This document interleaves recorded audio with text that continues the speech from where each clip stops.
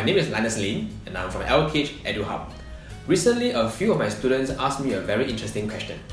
They say, Teacher, how come whenever I do QA experiment, I cannot get the correct color observation?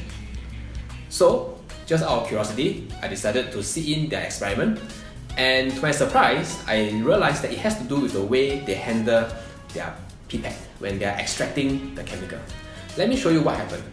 Typically, a student used the pipette to extract chemical in this manner. But some students, they may unknowingly be holding their pipette this way. When that happens, the back of the pipette is now containing the chemical without their knowledge.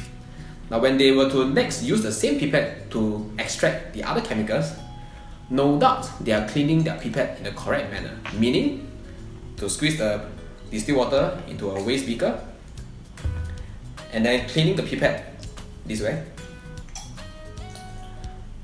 But when they are cleaning the pipette this way, the back part of the pipette is not being cleaned and it is still contaminated with the earlier chemical. So later on, when they use the same pipette which they think that is clean to hold another chemical, they hold the pipette once again in this manner.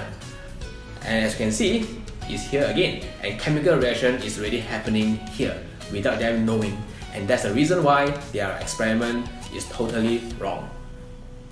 So my message to all students is, if you are using a pipette, always make sure that you maintain the position of the pipette in this way, so as to minimize the chance of contaminating your pipette in the experiment. So I hope you understand and thank you for watching. If you have any question regarding English, Math and Science, feel free to leave us a comment and we will pick a few to feature it in our next video.